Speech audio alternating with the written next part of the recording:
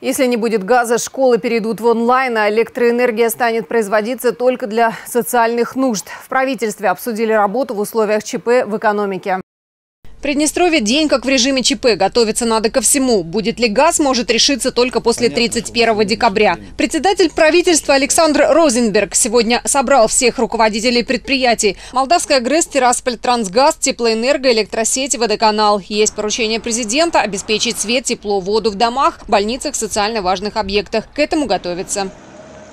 При отсутствии газа в аварийном режиме будет произведен запуск э, генерации электроэнергии на угле. Э, объем производства электроэнергии на угле ограниченный, конечный.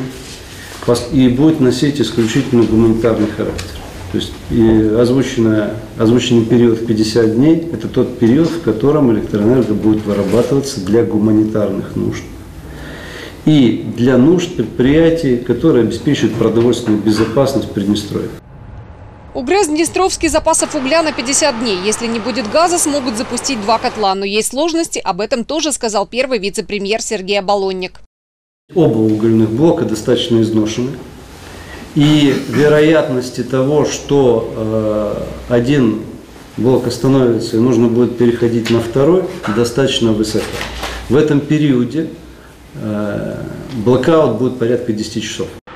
Если не будет газа, экспорт электричества в Молдову прекратят. Что в Приднестровье будет с остальными промышленными предприятиями, некоторые будут работать ночью или в определенные дни, то есть неполную рабочую неделю. За вами стоят соответствующие коллективы. Безусловно, нужно думать, как обеспечивать их заработной платой, как обеспечить работоспособность предприятия, насколько вы на сегодняшний день защищены с точки зрения скажем так, энергобезопасности. Сейчас мы пока ведем речь исключительно о генераторах, для того, чтобы обеспечить э, соответствующее производство. А основное производство, еще раз говорю, это хлеб, молочные изделия. Мы должны будем обеспечить э, электроэнергией все наши места хранения овощной группы, мясо или иное сырье тоже должно быть обеспечено электроэнергией. Также в правительстве еще раз озвучили решения, которые известны с совещанию президента. Если не будет газа, школы переведут на удаленку. Детские сады, те, что можно отапливать дровами, углем, продолжат работать. В больницах, домах престарелых и интернатах есть генераторы. Все задачи в работе, пока вопрос с поставками газа все еще не решен.